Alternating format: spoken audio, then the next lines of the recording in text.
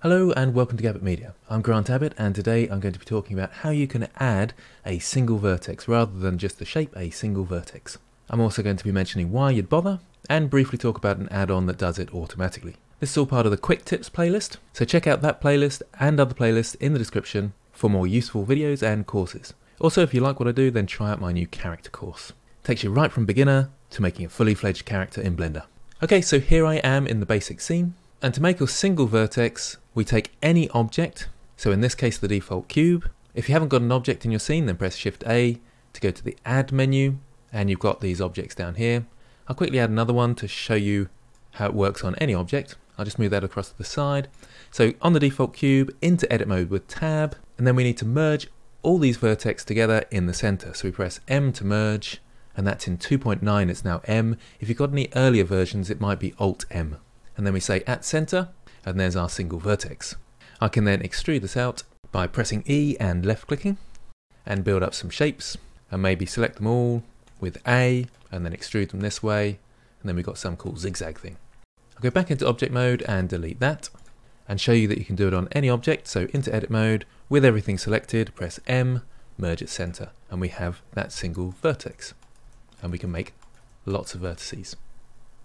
Okay, so I'll undo that, Go back into object mode and press Alt G to move my one single vertex to the center of the grid and I'll show you an application for this. If I go into edit mode now and press E to extrude and E to extrude and maybe extrude out here you can see that I'm making some sort of tree.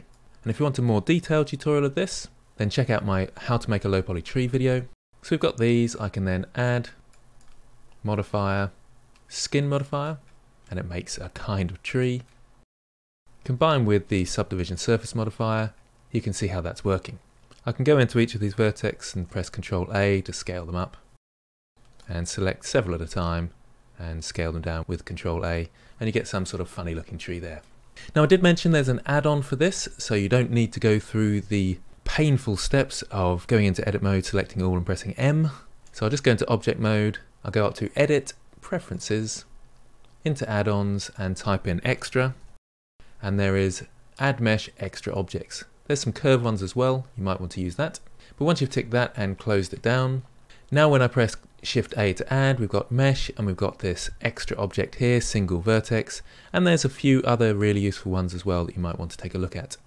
So if I press add single vert, I've got a single vertex that I, that I can go into edit mode with, and there we go, making my objects.